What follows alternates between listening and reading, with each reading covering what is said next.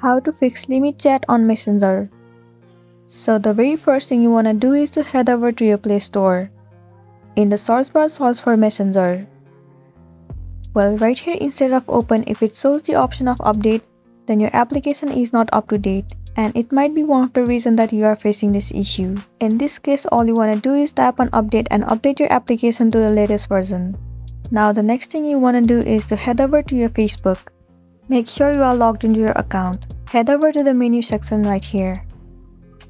Scroll all the way down and tap on help and support. Tap on report a problem.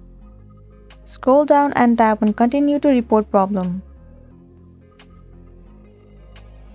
Now right here tap on include in report. Search for the messages and click on it.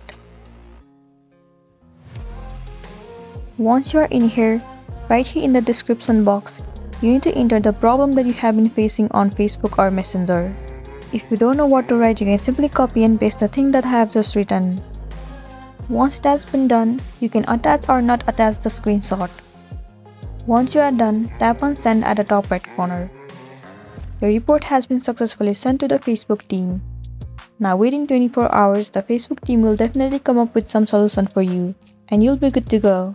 So that's it and this was a tutorial video on how to fix limit chat on Messenger. I really hope this video is gonna be helpful for you. Thank you for watching it till the end.